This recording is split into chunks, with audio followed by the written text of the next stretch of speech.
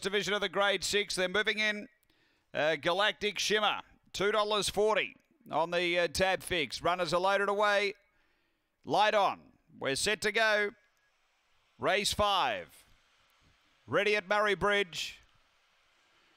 Racing, missed the start, Galactic Shimmer, speed coming from Galactic Animus and booting through Testarossa Boy. Testarossa Boy's going to boot up and lead from Galactic Animus, Millie May. Uh, the inside is Fittest Blossom, all taking a heavy tumble. Corborn ready at the back. Uh, Millie May got shuffled back with Outback Rebel and Galactic Shimmer, but turning. Testarossa Boy led. Fittest Blossom the inside. Uh, laid out wider is Outback Rebel. Testarossa Boy has beaten Outback Rebel, third fittest Blossom.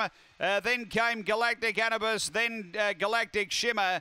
Next is Millie May and Corborn Ready took a tumble but did chase them home. Time here is uh, around the 26 second mark.